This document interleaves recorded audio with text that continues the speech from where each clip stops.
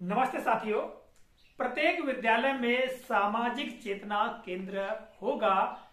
इस संदर्भ में साथियों चर्चा करेंगे और इसकी जो जानकारी है, इस पत्र का अवलोकन करने के पश्चात हमें ज्ञात हुई और इस वीडियो के माध्यम से हम इसी संदर्भ में चर्चा करेंगे। जो विद्यालय में सामाजिक चेतना केंद्र होगा तो वह कैसा होगा और वहाँ पर कौन कौन सी सामग्री, कितनी सामग्री, कितनी संख्या में होगी, इस बारे में चर्चा करेंगे। तो साथियों, यह पत्र नव भारत साक्षरता कार्यक्रम के अंतर्गत जारी किया गया है और इसमें बजट से संबंधित जो विस्तृत जानकारी वो दी गई है, जैसा कि आप देख पा रहे हैं। ठीक है, यहाँ प्रत्येक ज़िले के लिए बजट प्रावधान किया गया है और साथ ही इस बजट प्रावधान के साथ साथ जो महत्वपूर्ण जानकारी हम शिक्षक साथियों के लिए अक्षर साथियों के लिए है, उसी पर हम चर्चा करेंगे। यहाँ पर परिशिष्ट दो दिया गया है, जैसा कि आप परिशिष्ट दो को यहाँ पर भी देख रहे हैं। ठीक है और इस परिशिष्ट दो में जो जानकारी दी गई है, उसी को हम इस वीडियो के माध्यम से आप तक शेयर कर रहे हैं। जैसा कि यहाँ पर दिया गया है critical life skill and fundamental literacy and numeracy के अंतर्गत जो जो नव भारत साक्षरता कार्यक्रम के अंतर्गत सामाजिक चेतना केंद्र है, वो प्रत्येक विद्यालय में होगा, इसके बारे में जानकारी यहाँ दी गई है। Expenses including ICT equipment TLM के अंतर्गत बताया गया है जो कहा गया है उसको बता, बताते हैं आपको। प्रत्येक ग्राम या वार्ड में शासकीय प्राथमिक या माध्यमिक विद्यालय का कोई एक कक्ष ठीक है एक सामाजिक चेतना केंद्र के रूप में रहेगा। यानी प्रत्येक विद्यालय में कोई एक कमरा या एक कक्ष जो है वो सामाजिक चेतना केंद्र के रूप में रहेगा।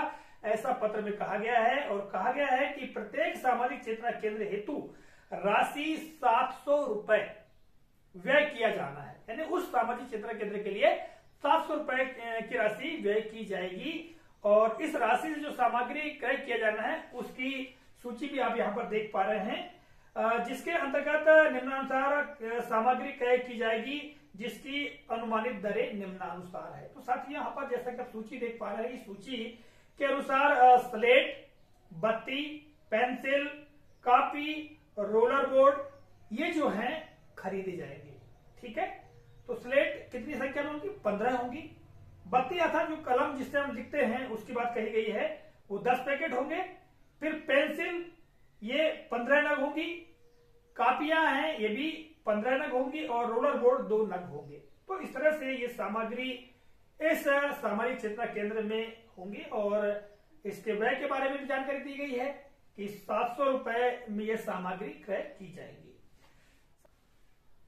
और इसके अलावा साथियों, यहाँ पर कुछ और भी महत्वपूर्ण बिंदु दिए गए हैं। जैसा कि यहाँ पर कहा गया है कि कोई भी मॉनिटर करता अधिकारी, कर्मचारी जो कि नवभारत साक्षरता कार्यक्रम के अंतर्गत जुड़ा हुआ है, उनके प्रशिक्षण से संबंधित जो व्यय होगा, उसके लिए भी राशि व्यय की जाएगी। इसके अलावा कहा गया है कि अधिकतम बीस रुपए प्रति अक्षर साथी भी राशि व्यय होगी, ऐसा कहा गया इसके अलावा जो असेसमेंट है, अर्थात जो नौ साक्षर होंगे, उनके मूल्यांकन के लिए भी जो प्रति परीक्षार्थी पंद्रह रुपए की राशि व्यय की जाएगी जिसमें परीक्षा का जो प्रश्न पत्र है, पेन, पेंसिल, मॉनिटरिंग, है ना उत्तर पुस्तिका मूल्यांकन आदि जो कार्य है, इस पर भी राशि व्यय की जाएगी, ऐसा इस पत्र में कहा गया। तो साथ ही यह एक विस्तृत दिशा निर्देश है, जिसकी जो महत्वपूर्ण जानकारी है मैंने इस वीडियो के माध्यम से आप तक प्रसिद्ध करने का मैंने प्रयास किया है।